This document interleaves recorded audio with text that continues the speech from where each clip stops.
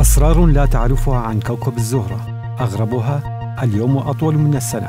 على الرغم من أن كوكب الزهرة ليس هو الكوكب الأقرب إلى الشمس إلا أنه لا يزال الأكثر سخونة بين كواكب النظام الشمسي.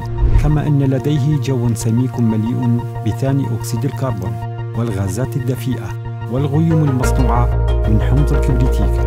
ولعل هذا السبب في حرارته فيحبس الغاز الحرارة ويحافظ على درجة اشتعال كوكب الزهرة حيث يكون الجو حار جدا على الكوكب. فالمعادن مثل الرصاص تكون برقة من السائل المذاب كوكب الزهرة هو كوكب نشط للغاية ولديه جبال وبراكين ومشابه لحجم الأرض إلا أن الأرض أكبر قليلا.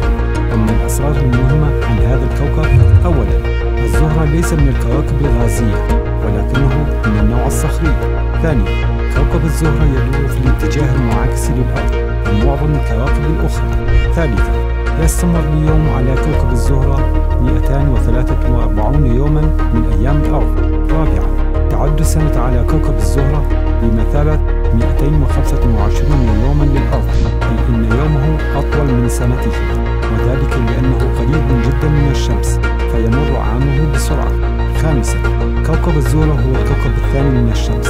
هذا يعني أن عطارد والأرض ومن أقرب للزهرة. سادسا لا يمتلك كوكب الزهرة أي أقمار مثل كوكب عطارد وذلك على خلاف باقي الكواكب الشمسية. سابعا الزهرة معروفة منذ العصور القديمة لأنه يمكن رؤيتها بسهولة دون تلسكوب.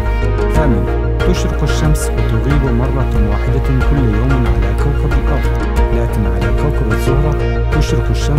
كل 117 يوما من أيام الأرض وهذا يعني